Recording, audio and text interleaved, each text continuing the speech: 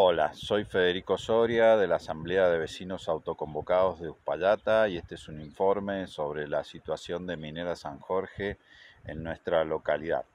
Recordemos que esta corporación depende de empresas offshore radicadas en paraísos fiscales conformadas por capitales especulativos rusos. Esta empresa, recordemos, se eh, radicó en nuestra localidad allá por el año 2007, cuando pretendió llevar adelante un proyecto de explotación megaminera que fue rechazada en todas las instancias legales a las que fue sometida.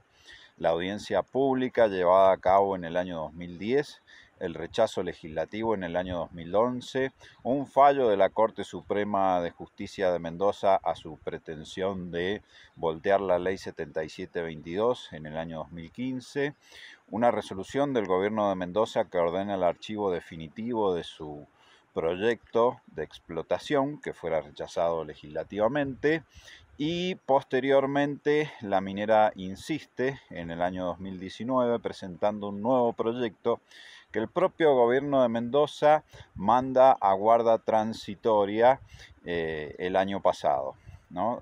pero la minera insiste con una nueva arremetida. Recientemente ha contratado un consultor, Julio Clodevil, ex gerente corporativo de Barrick Gold en la explotación megaminera de Veladero, que tiene como antecedente principal haber sido el eh, responsable gerencial de la empresa cuando se produjeron los derrames de cianuro en los ríos que contaminaron eh, la provincia de San Juan. ¿no? Nosotros en Uspallata hicimos una colecta para juntar agua para Hachal, como hicieron varias comunidades de Mendoza y del resto del país. Por eso es muy recordado ese episodio y bueno, y resulta que ahora tenemos al principal responsable de esa contaminación en Uspallata haciendo lobbying para Minera San Jorge y encabezando además acciones de contaminación social consistente en tareas de asistencialismo, reemplazando al Estado y aprovechándose de la crisis generada por la pandemia. ¿no?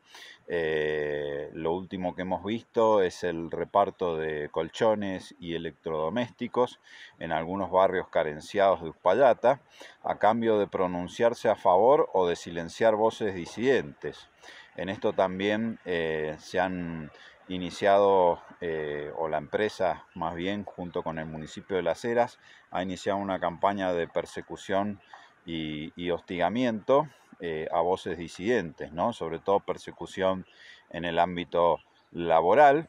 Este, y bueno, y el episodio más reciente del cual nos hemos enterado es una donación al ejército. Hace unos meses la minera donó una ambulancia a una de los escuadrones del ejército y también semanas atrás equipo de rescate en montaña. A cambio de eso, la, em, la representante de Minera San Jorge en Uspallata, señora em, Adriana Smut, le pidió al ejército que la lleve en mula al Cerro Barauca, uno de los cerros más alejados eh, de Uspallata, ¿no? Eh, al cual se accede precisamente por las tierras del Estado Nacional Argentino custodiadas por el ejército.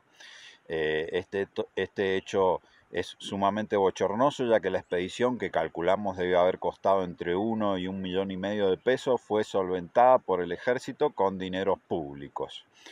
Eh, y bueno, lo último que ha ocurrido en Uspallata el fin de semana anterior es la apertura de eh, un local de Minera San Jorge en nuestra localidad.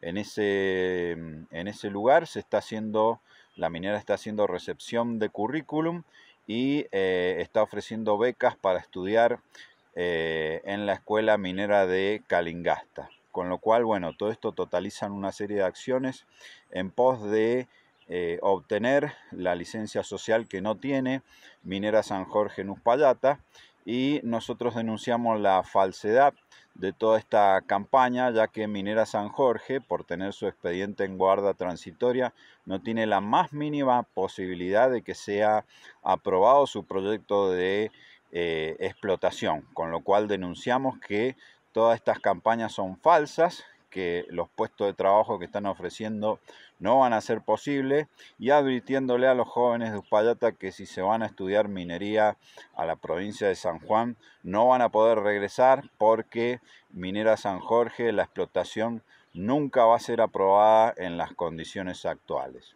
Este entonces es una síntesis de la situación que tenemos en Uspallata ante la nueva arremetida de Minera San Jorge.